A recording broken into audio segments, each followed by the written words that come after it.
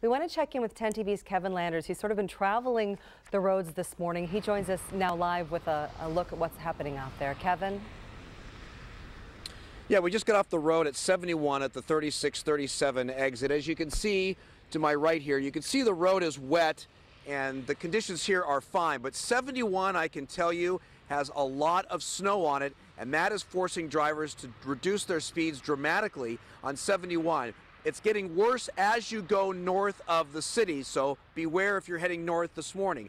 As you can see, though, the snow is still coming down. We're probably maybe a half an inch on the ground. No accidents we've seen so far. That is the good news. So drivers are behaving, they're keeping their speeds down, and that's what you're going to have to do as you're heading north out of downtown Columbus. We'll continue to follow the storm as we head further north. We'll bring you more updates later this afternoon. Reporting live, Kevin Landers, 10 TV News.